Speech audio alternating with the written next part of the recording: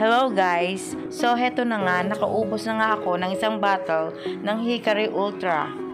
60 capsules na siya and with oral sunblock protection. Sulit talaga sa kanyang price at nakita ko naman may effect na sa skin ko. Kaya napa-order ako ulit. Best budol talaga itong Hickory Ultra.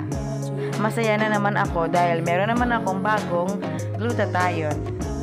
Meron siyang 400 mg glutathione, crystal tomato extract, vitamin C, acetylcysteine, fern black, alpha-lipoic acid, zinc, and pearl powder.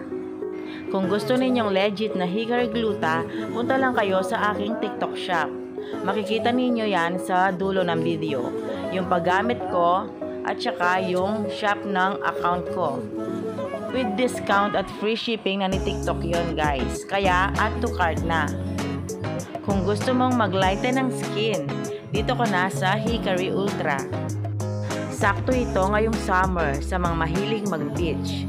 Mayroon ka ng oral sunblock protection at hindi ka na masyadong mangingitim. Kaya ano pang hinihintay mo? Punta ka na sa TikTok shop ko. Best budol talaga ito.